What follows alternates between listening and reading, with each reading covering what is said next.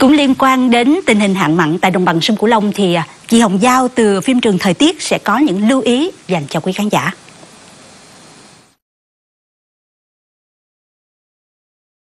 Dạ vâng, từ đầu tháng 2 mặn đã xâm nhập sâu theo kỳ của triều cường, có nơi nước mặn vào sâu hơn cả năm ngoái.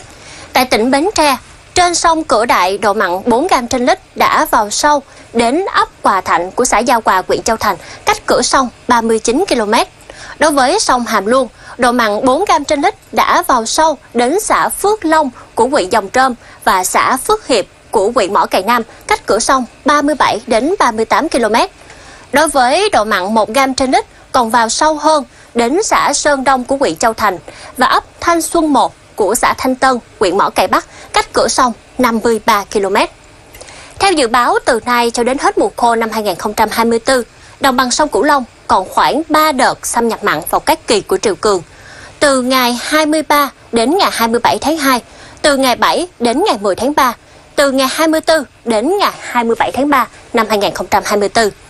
Xâm nhập mặn ở hệ thống trên sông Cửu Long sẽ vào cao điểm vào kỳ của triều cường cuối tháng 2 đến giữa tháng 3. Còn đối với hệ thống sông Vàm Cỏ, mặn có khả năng tăng cao đến tháng 5 năm 2024 nếu khu vực không xuất hiện mưa. Các địa phương cần cập nhật kịp thời các thông tin dự báo khí tượng thủy văn và có các biện pháp chủ động phòng chống hạn hán, thiếu nước với các kịch bản khác nhau và tranh thủ tích trữ nước ngọt khi mà triều thấp để phục vụ nông nghiệp và dân sinh. Về thời tiết, tối và đêm nay, tại Thủ Dầu Một, thành phố Hồ Chí Minh, Cần Thơ, Cao Lãnh và các nơi khác với mức nhiệt khá dễ chịu dao động trong khoảng từ 22 đến 25 độ C. Riêng tà lại thời tiết dịu hơn 20 độ C, trời xe lạnh.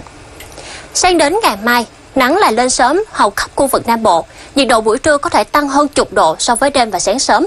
Ở khu vực miền Tây Nam Bộ và miền Đông Nam Bộ, một số nơi chạm ngưỡng nắng nóng 35, 36 độ C. Triền Đồng Phú và Biên Hòa nắng nóng cay gắt 37 độ C. Về dự báo thời tiết cụ thể cho thành phố biển Phú Quốc, nắng sẽ lên đều từ sáng cho đến cuối chiều, rất thuận lợi cho các hoạt động ngoài trời. Nhiệt độ cao nhất trong ngày 32 độ C. Xin được chuyển sang thông tin dự báo thời tiết trên biển. Khu vực biển từ Bình Thuận cho đến Cà Mau, Cà Mau Kiên Giang. Dự báo đêm nay và ngày mai thời tiết tốt, gió cấp 3, cấp 5, tầm nhìn xa thoáng trên 10 km.